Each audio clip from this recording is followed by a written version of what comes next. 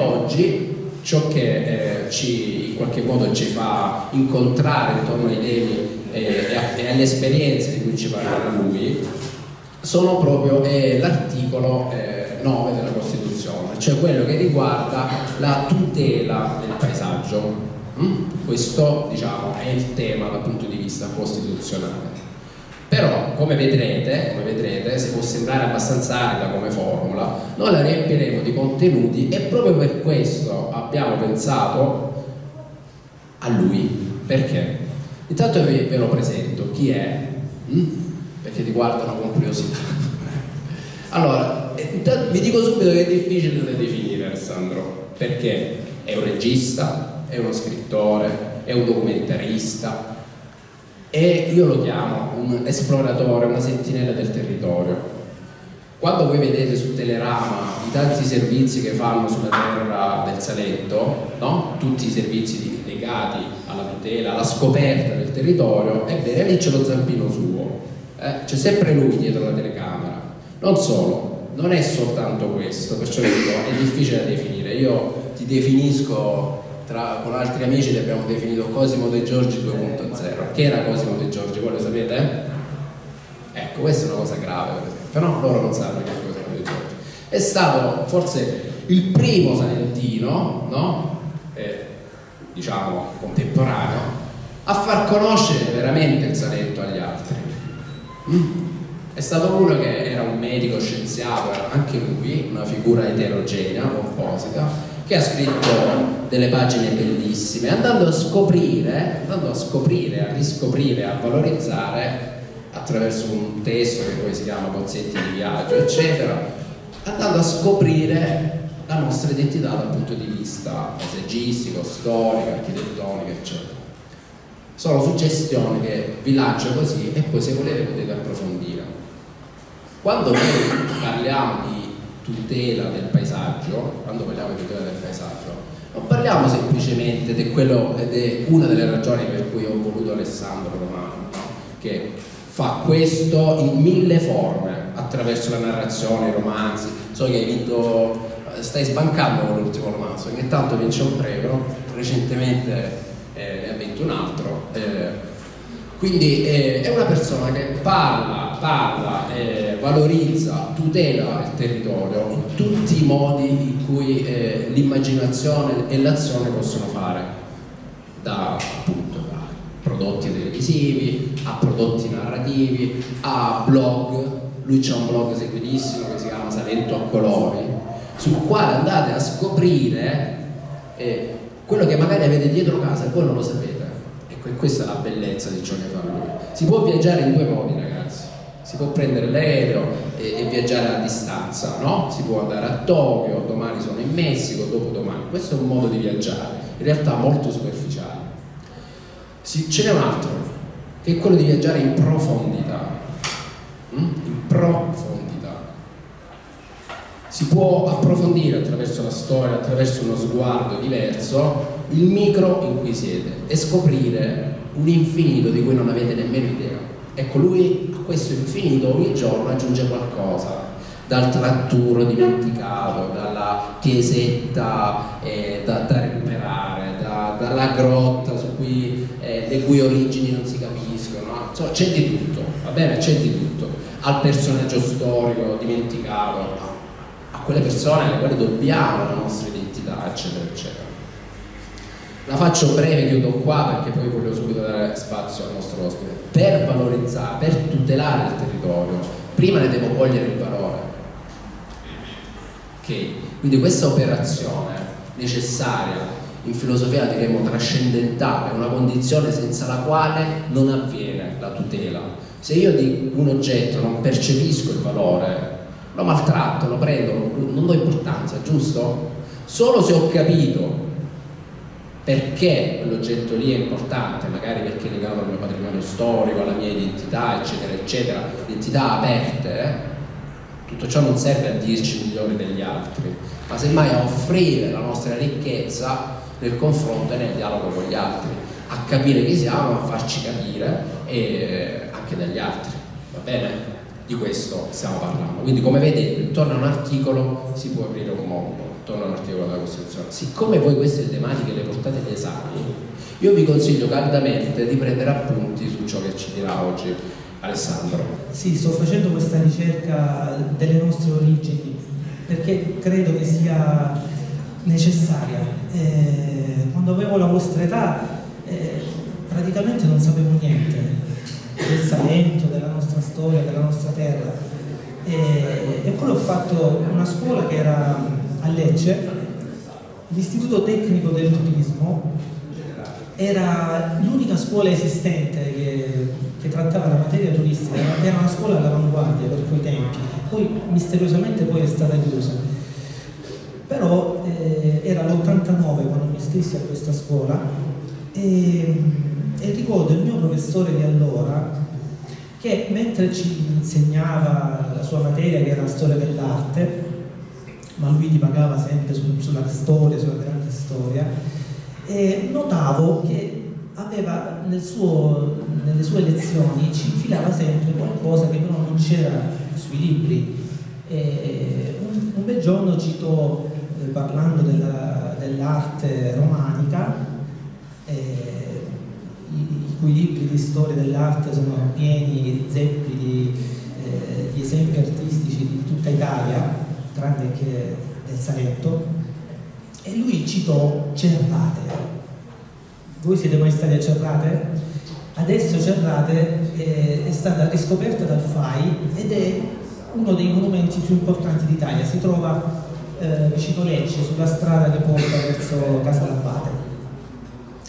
E a me incuriosiva questa Cerrate perché lui ne parlava quasi con, quasi con le lacrime agli occhi, e, però io sul libro non vedevo niente e, e mi rimaneva dentro questa, questo vuoto, questa mancanza di qualcosa che, che non poteva essere mia.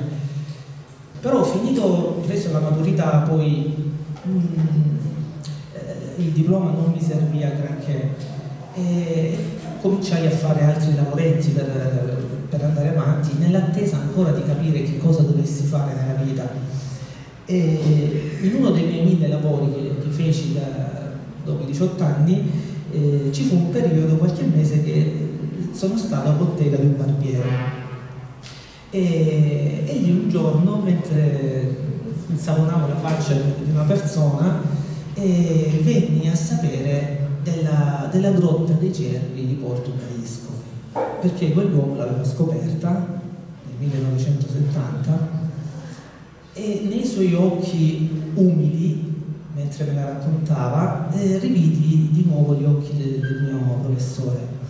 E, e, cominciò a parlarmi di questa grotta che ricolma di 3.000 pittogrammi che illustravano eh, la vita dei nostri progenitori, un luogo unico al mondo eh, che raccontava una storia di 6.000 anni fa, ma che pure questa non la trovavo in nessun libro, non stava da nessuna parte. E questa cosa cominciava a, a, a tirarmi alcune corde dentro. Eh, poi cominciai a lavorare a Telerama e iniziai ad andare più spesso in giro oltre, diciamo, oltre la mia Lecce, io sono di Lecce. E quindi tramite il lavoro riuscii a unire all'utile al dilettevole, cominciai a, a conoscere i paesi della nostra provincia. Un autentico tesoro poi mi si è spiegato davanti agli occhi perché ottenni dall'editore di potermi dedicare a una trasmissione che prima si chiamava Salento da Mare all'epoca, adesso oggi si chiama Terra del Salento, ma da allora eh, ha sempre lo stesso format che mi consente quasi sempre di essere libero di andare a cercare eh, la nostra storia nascosta perché noi abbiamo una storia nascosta, eppure noi siamo stati nel centro del mondo, come ho cercato di dire questa piccola storia, sin dalla preistoria. Non c'era solo la grotta dei cervi dei portoghesi, qui c'era un popolo che aveva una sensibilità particolare. Vicino Lecce, ad Arnesano, eh, nel, nel 1968 fu trovato oggi lo chiamano l'idoletto di Arnesano, l'avete visto pure è una piccola statua di pietra, è la, è la, più antica scultura in pietra che esiste nel Salento è datata 7000 anni fa, è una forma che, su, cui, sul cui soggetto gli studiosi ancora si stanno sono divisi in correnti, non, sono, non hanno tutti un'idea certa su, su, cosa significasse questo, questo essere diciamo, che si intravede in questa forma, che qualcuno ha ipotizzato essere una forma fallica, è, un, è comunque un'espressione molto particolare dei, dei nostri progenitori. C'è un altro esempio ancora più bello, più reale, che si trova nelle campagne di Ostuni, dove nel 1991 il professore Donato Coppola scoprì una donna sepolta con il pancione, era morta pochi giorni prima di partorire, è stata sepolta 28.000 anni fa come una principessa. Gli hanno fatto una corona di conchiglie sulla testa, gli hanno posizionato la mano sulla, sulla pancia mentre lei era stesa di lato come a proteggere quel bambino mai nato noi non possiamo sapere perché i suoi i membri della sua tribù la seppellirono così.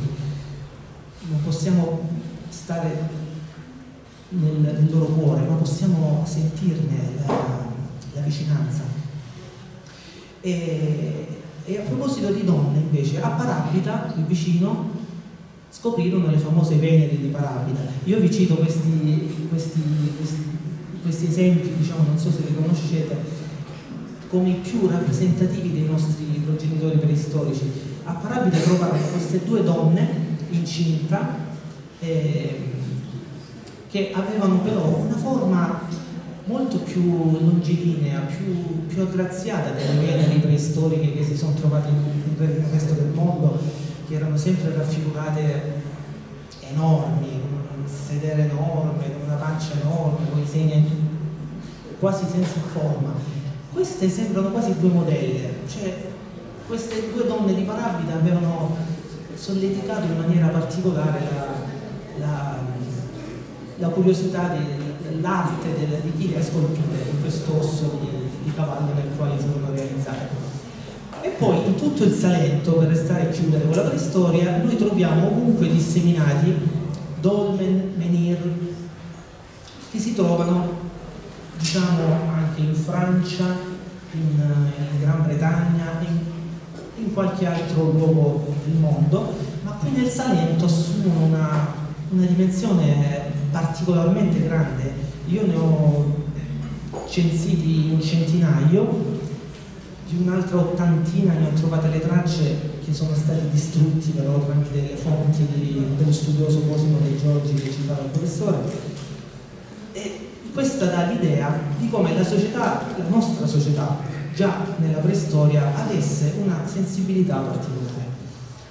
Poi arriviamo in epoca classica, questo per dirvi come io negli anni ho, ho rivisto questa nostra terra veramente nel cuore del Mediterraneo, come un, come un ombelico del mondo Qui da noi c'erano, in epoca classica, c'era un popolo che si chiamava, che i greci chiamavano i Messari, conoscete immagino. Eh, o meglio, li chiamavano i greci, noi non sappiamo come loro chiamavano se stessi. I greci li chiamavano Messapi perché abitavano nella Messapia, ossia la terra tra i due mari, l'Ionio e l'Adriatico. Eh, I romani invece divisero l'Italia in regioni divisero questa nostra regione in Apulia et Calabria. E sembra strano, no? perché la Calabria in realtà la regione di oggi è tutt'altra cosa, no? In realtà la Calabria eravamo noi, perché i greci di Taranto chiamavano noi Calabri, che significa figli di maiali, come ho cercato di raccontare facilmente. Sì, il Salento aveva questa peculiarità diciamo, la zona tarantina, la città di Taranto era spartana, era stata fondata dagli spartani. Noi con i, con i greci siamo stati in guerra. Erodoto dice che la più grande strage di greci mai accaduta l'hanno fatta i Messapi nell'anno 473 a.C., i quali eh, esasperati per le scorrerie che facevano gli spartani di Taranto, che venivano a rubare da noi i bambini, le donne, facevano razzie di beni, nell'odierna Carovigno, che prima si chiamava Carpina, loro fecero una strage tremenda per deportarsi uomini schiavi, cioè loro, i greci avevano la cultura di fare schiavi. A quanto pare qui da noi nei messaggi non, non ci sono prove storiche di questo, nei greci sì. E quindi loro si rifornivano di schiavi da noi perché ci consideravano inferiori.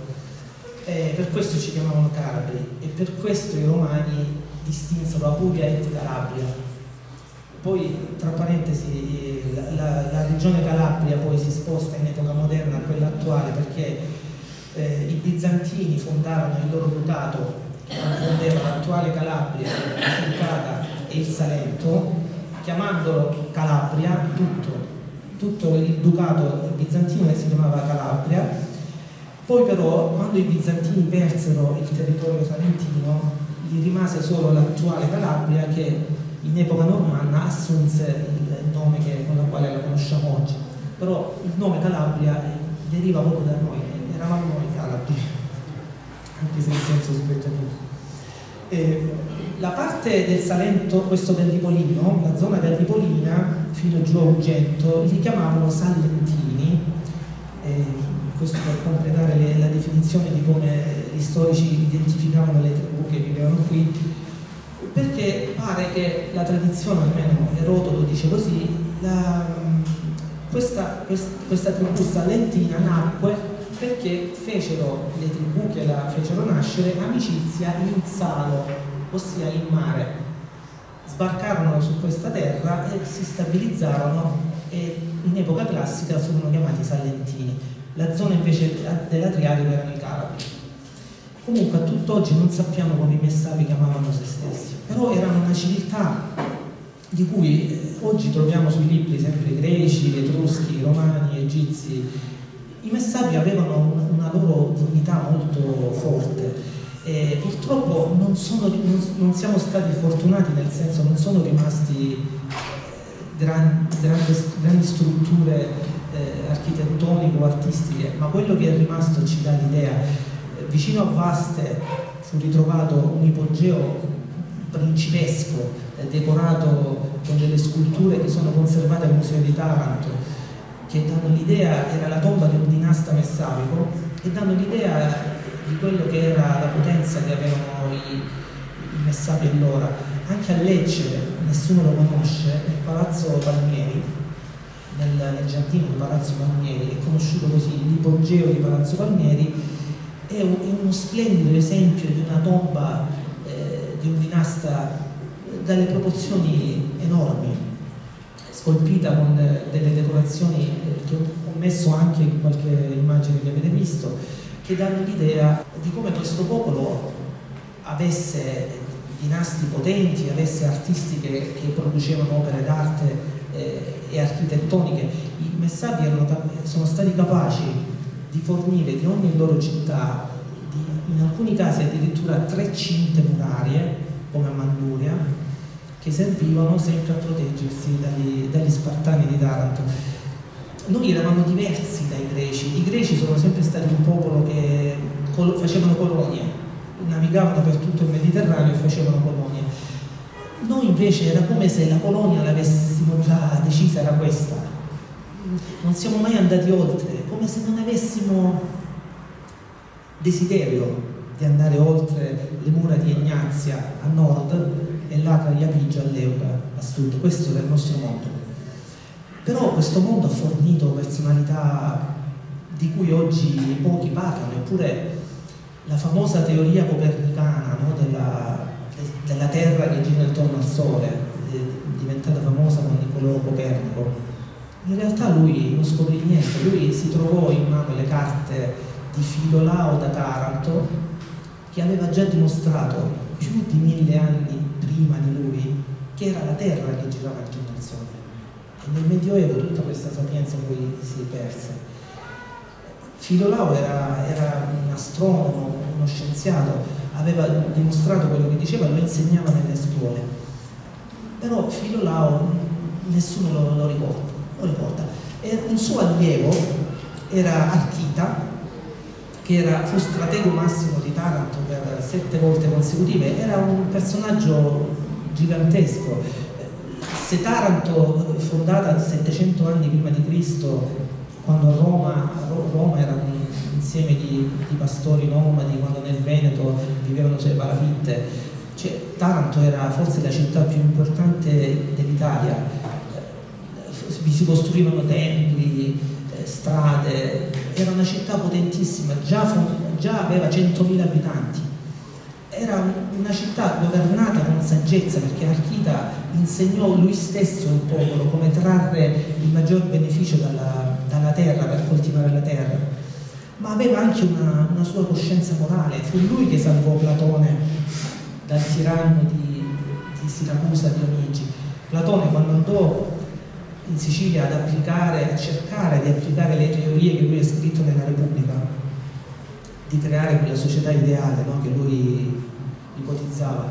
Lui tentò nell'impresa, però si inimicò eh, il tiranno di Dionigi III, mi pare si chiamava, che lo imprigionò e fu grazie ad Archita che andò, fece da mediatore, lo liberò e lo fece tornare a casa, altrimenti non avremmo avuto libero più Platone.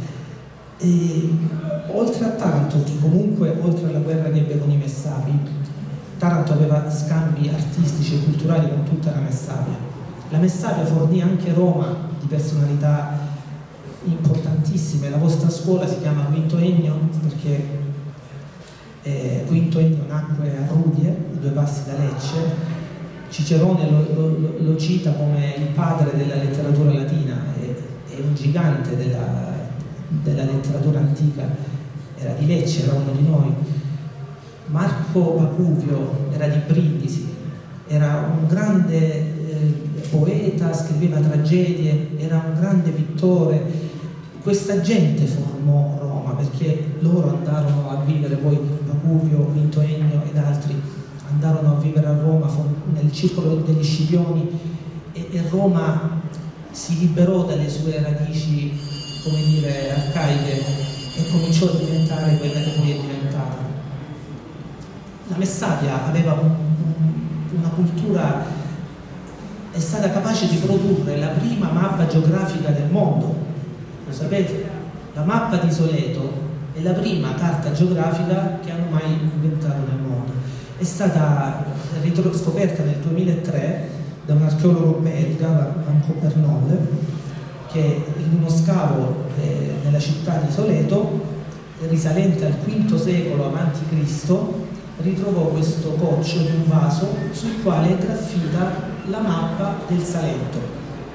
Cioè voi trovate lì la prima mappa della storia che rappresenta una, un luogo geografico, rappresentava il Salento e rappresentava le principali città di allora, con i nomi, anche se alcuni sono abbreviati, il nome di Taras è scritto per intero, quindi è inequivocabile che si tratta della mappa del Salento.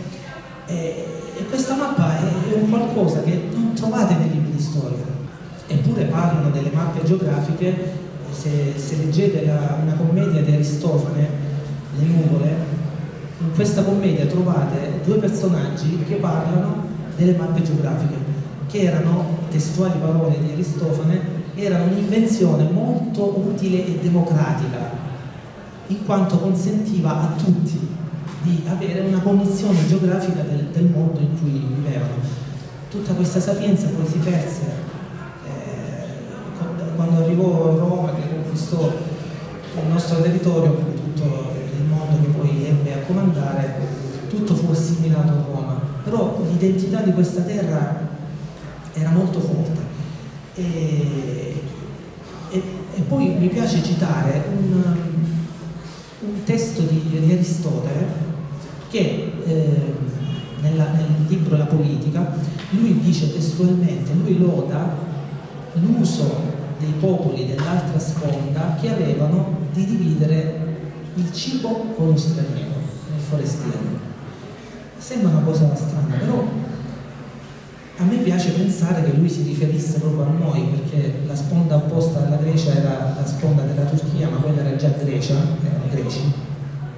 Penso si riferisse a noi. E è molto interessante questo dettaglio, perché lui dice che la gente divideva il cibo in una sorta di età dell'oro con il forestiero e se ci pensate è quanto accade ancora oggi molto prima, accadeva all'epoca, in epoca molto prima di il messaggio di Cristo, quindi l'epoca cristiana, accadeva quello che accade ancora oggi con le tavole di San Giuseppe.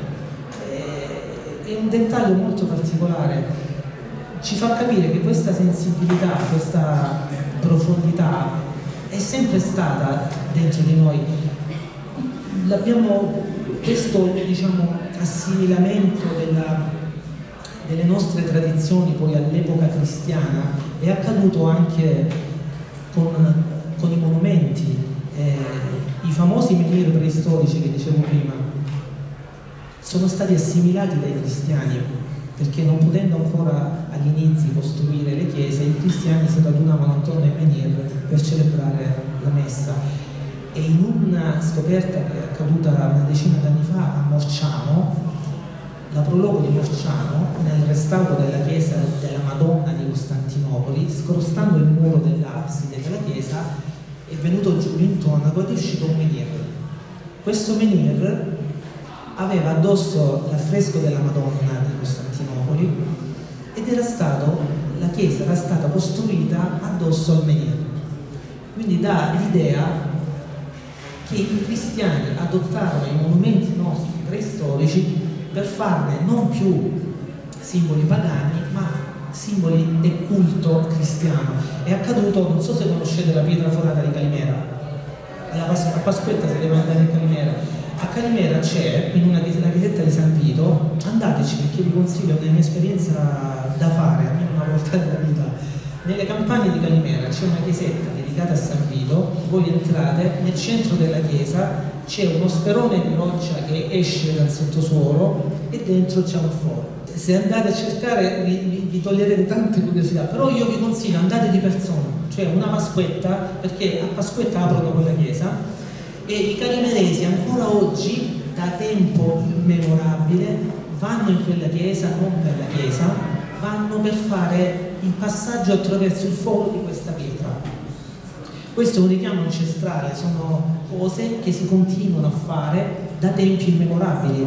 Il culto del foro, no? il passaggio attraverso il foro è una, una simbologia femminile, richiama eh, il membro materno e, e, quindi ci riporta a una società matriarcale, quando era la donna che organizzava la vita delle comunità. E come abbiamo visto con la donna che ho citato prima di Ostuni, morta con il pancione come una regina, le venere di Parabita, la pietra forata di Calimera, un menhir forato trovato vicino a Uffano, ci fanno capire che la nostra terra per qualche motivo è, è rimasta matriarcale per molto tempo in più rispetto ad altre, a qualsiasi altra terra. Questo a me mi ha sempre dato molto da pensare, perché forse avremmo un mondo più civile se, se avessimo una società matriarcale. Facciamo questa comprensione. Eh, Niente, poi, vabbè, non voglio fare lunga. E superato il periodo classico, in cui, come dimostrato, il Salento era il cuore del Mediterraneo, cade l'impero romano, succede un macello.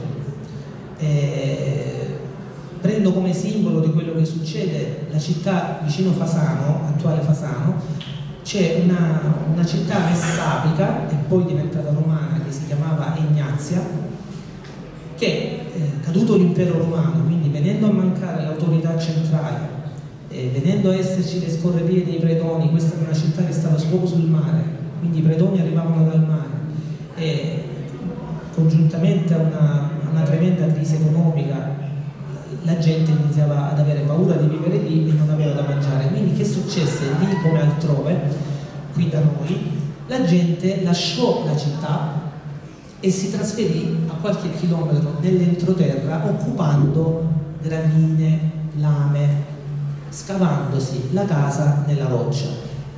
Questo è un paesaggio, un panorama che, di cui nessuno mai parla, no? perché oggi quando fanno turismo rupestre vanno in Cappadocia, in Turchia, chissà perché altre località del mondo sono sempre più rinomate, le conoscono tutti, ma qui da noi abbiamo una piccola Cappadocia forse ancora più bella. Se andate lì, per esempio a Ignazia, troverete in un grande canalone, che un tempo era un fiume preistorico, un intero villaggio rupestre scavato nella roccia in cui c'era tutto. la gente aveva le case, aveva la chiesa, la chiesa era affrescata in maniera meravigliosa, avevano le stalle per gli animali, avevano ogni struttura che serviva a vivere. In pratica sì, c'era stata la fine dell'impero, c'era stato un macello che era successo, però la gente ha saputo reinventarsi e soprattutto è riuscita a sopravvivere in maniera creativa.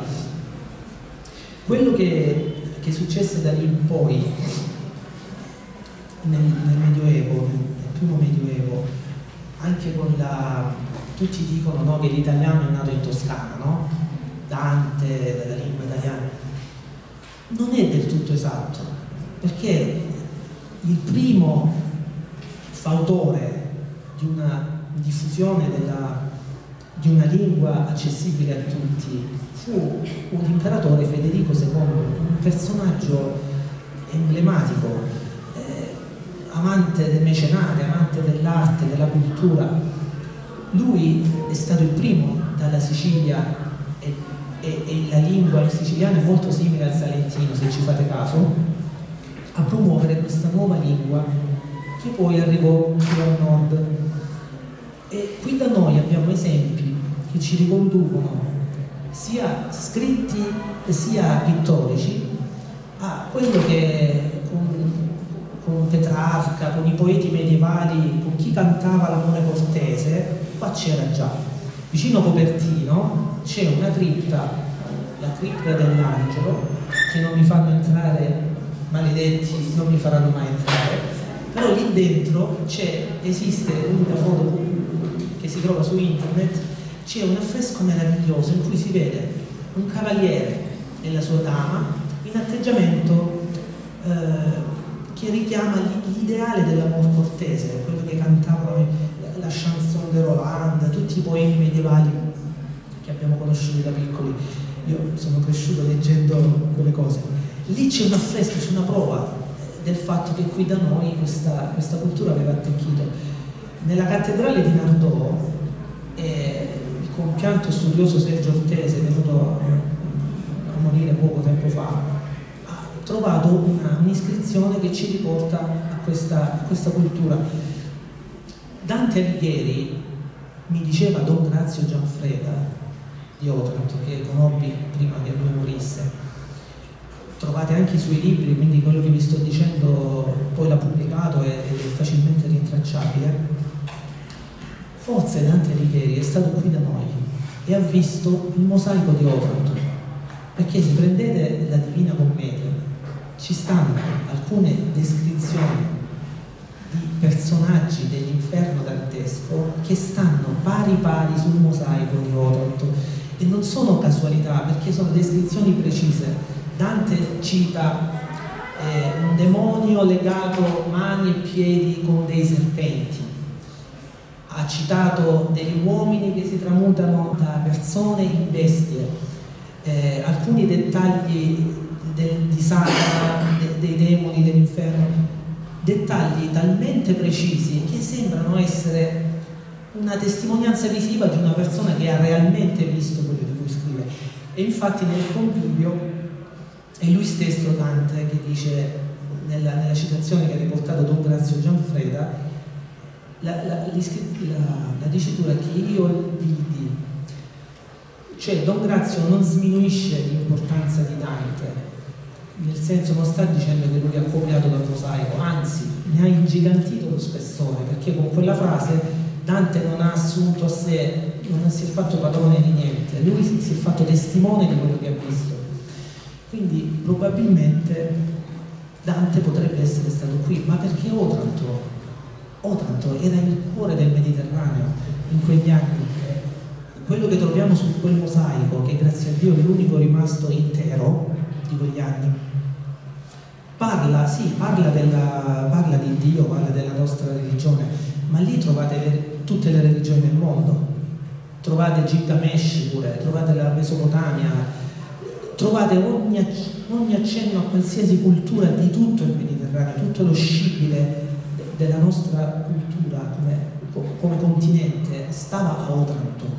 Eh, il mito di Re Artù, 30 anni prima che qualcuno lo scrivesse, stava, sta sul mosaico di Otranto, 1165, il mosaicista Pantaleone, che veniva dal monastero di Casoli, che avete visto distrutto, lui raffigurava Re Artù e la prima immagine di Re Artù che si conosca è stata qui da noi in Salento, 30 anni prima che qualcuno scrivesse la storia. Sono così importanti, perché non c'è conoscenza? Questa è, è una bella domanda. Questa è una bella domanda. Questo è il senso di quello che stiamo facendo. Posso un attimo? Prego. Sì, magari cominciamo a interagire perché come vedete ascoltare lui si inizia e non si finirebbe mai, no? Perché ha tantissimo da dirci. Hai fatto una bellissima domanda, no? Ma perché se abbiamo tanto? Posso fare una domanda io a voi? Ma voi lo sapevate che avevamo tanto? Perché quando voi parlate del Salento agli altri, quando invitate i francesi, gli inglesi, gli spagnoli, perché li invitate? Per il mare, bello, per il pasticciotto magari, no? Per, non lo so, la pizzica, per cos'altro? Per qualcosa che ritenete no? particolarmente tipico nostro, eccetera, vi fermate alla conoscenza di 7-8 cose, no? 10, 20, 50, che ne sa di più. Se ascoltiamo uno come Alessandro, ne scopriremo milioni, milioni di ragioni per cui questa terra ha un valore. Torniamo al discorso iniziale. Si tutela qualcosa. Se cominciate a capirne il valore, allora vedete che eh, noi non stiamo parlando dell'articolo 9 della Costituzione, non lo stiamo no, commentando con, come giuristi, no, io vi ho portato un esempio in carne e ossa, concreto, di che cosa significa valorizzare il territorio. Ora, in mezz'ora voi siete tutti in quinto, tra un po' andrete a fare gli esami, no? E io spero che in mezz'ora vi siate resi conto, quantomeno, non è colpa vostra ragazzi, eh? non è colpa vostra, della vostra assoluta, totale ignoranza di ciò che avete intorno. Totale! Voi non sapete nulla. Esattamente come io e lui, e ve l'ha raccontato, usciti dal liceo non sapevamo nulla. Magari sappiamo qualcosa su, non lo so, eh, quello che ha fatto Giotto a Padova, quello che ha fatto, eh? Ma non sappiamo nulla. Magari studiamo Trilussa, studiamo il poeta dialettale, eh, non lo so, studiamo Goldoni, no? Studiamo Trilussa, studiamo poeti dialettali e se io vi dico De Dominicis, vedi che è? No, è tristissimo questo, sapete perché? Perché De Dominici è uno dei più grandi poeti al mondo, è morto a 32, 33 anni, era un ragazzino quando è morto.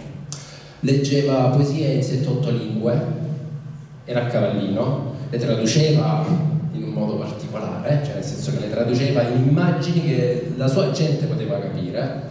Ha scritto, ha scritto qualcosa, cioè di fondamentale per noi, dovrebbe essere fondamentale per noi anche molto simpatica, umoristica, ha scritto una divina commedia nel nostro dialetto, con tutti e tre i famosi canti.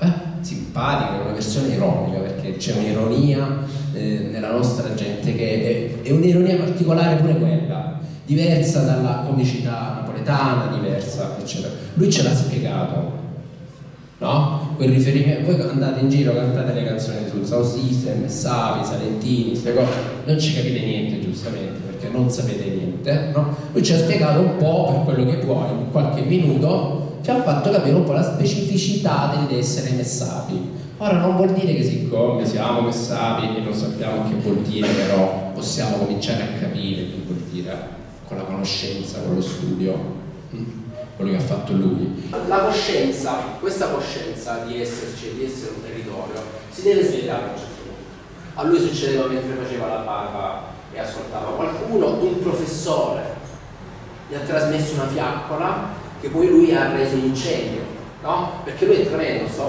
accende la tv, vai su internet, ovunque c'è lui che ti spiega qualcosa, che ti fa scoprire qualcosa. Non c'è verso di scappare a lui. Voi siete incappati già in lui, ve l'ho detto quando accendete Teleracqua non sapevate che era lui, ma c'è lui dentro, ok? Le persone così, che io chiamo le sentinelle, sono quelle grazie alle quali sappiamo qualcosina di noi. vedete che le scoperte di cui ha parlato, no? Sono tutte recenti. Anni 70, anni 90, no?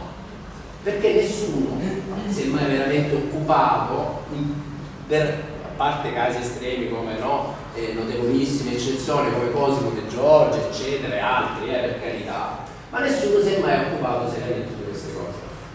Per cui noi siamo i barbari del mondo, siamo quelli la cui memoria noi siamo i primi colpevoli a dimenticare, siamo quelli che non stanno nelle storie della letteratura, invece ci dovremmo essere, siamo quelli dimenticati in qualunque ambito. Andate a prendere un manuale di storia dell'arte anno 2020, non troverete niente quasi del barocco leccese, non troverete niente del, eppure io vi farei leggere delle pagine di alcuni filosofi del 600 sul barocco leccese non mi ricordo che era un empirista la considerava la città più bella al mondo Lecce uno che il mondo l'aveva visto eh? Berli ok? Berli uno dei tre famosi empiristi Locke, Berli che cosa vi stiamo cercando di far capire oggi? attraverso questi esempi cioè che vi dovete svegliare voi e dovete praticare voi l'articolo 9 della Costituzione. Guardate che ne avete da guadagnare tantissimo. Non solo scoprirete quanto siete ricchi, quanto siete ricchi perché tutto ciò di cui stiamo parlando è vostro. Eh? Quel mosaico di. Cioè, no, no. Don Grazio, quello che vi ho citato prima, che ha scritto un libro sul mosaico, lui quando fecero la Costituzione europea nei primi anni del 2000 lui aveva una disperazione dentro perché non c'era nella Costituzione che hanno scritto nessun accenno alle comuni origini, alle comuni origini del nostro continente, perché stanno tutte a Otranto. Cioè, sta, sta tutto qui. Tutto quello che vi ho detto prima, della, del, non solo della religione, ma anche delle tradizioni, dei racconti, di Re Arturo, cioè sta tutto nel mosaico di Otranto.